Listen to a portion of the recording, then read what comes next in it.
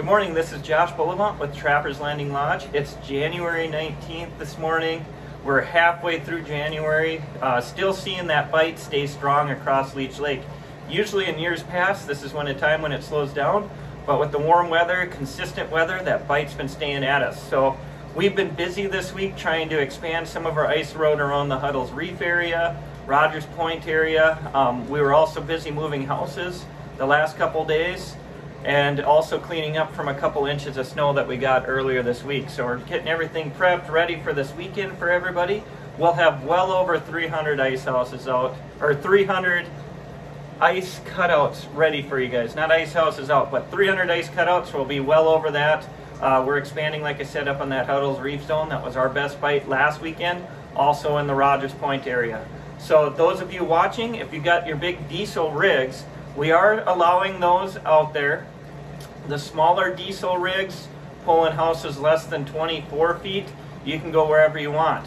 Those bigger diesel rigs coming up here with the bigger houses, bigger than 24 feet, we're still going to limit you to roads A, C, and D. So that would be down here at the Rogers Point area.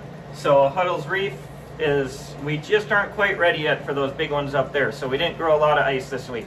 So, but um, we're unlimited down on that A, C, and D roads.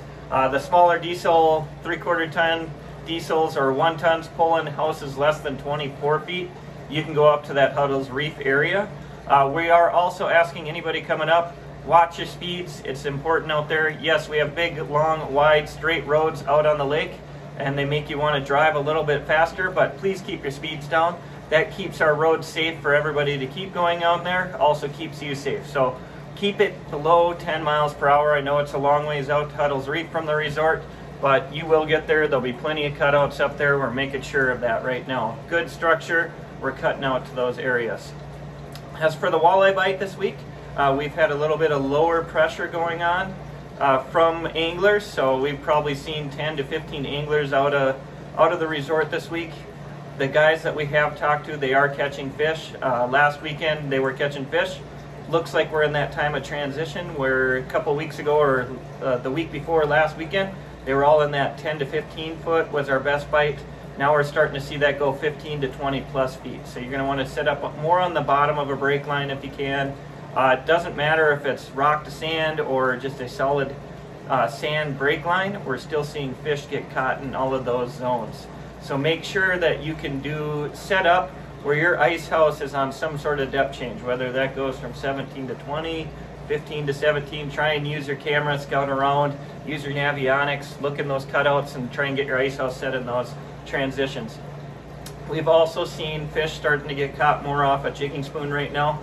Fish very aggressively. Whatever you did to get that walleye to come in, keep doing that. Have them chase a little bit more.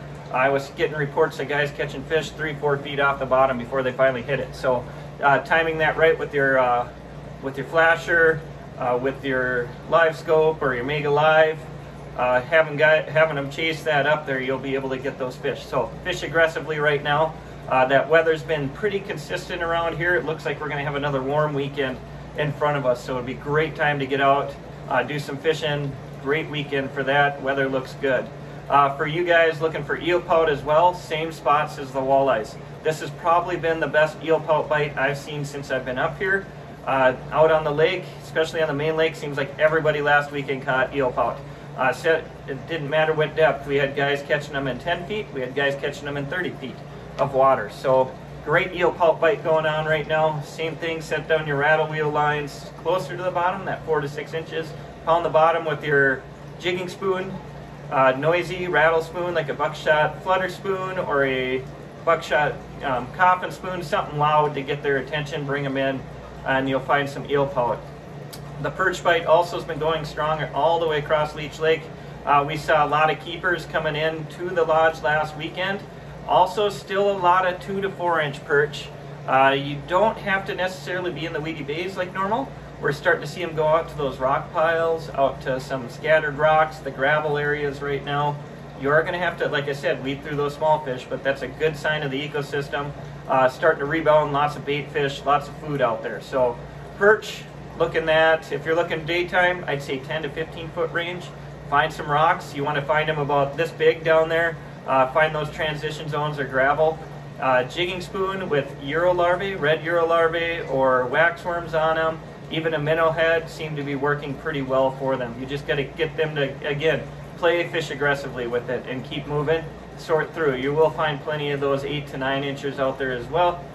Plenty 8 to 9s to bring home, which is a good keeper, but also we are seeing some jumbles starting to come in, some of those 11, 12, 13 inches. We've seen a few of them, just not as many yet. So fishing's been good across the lake out here.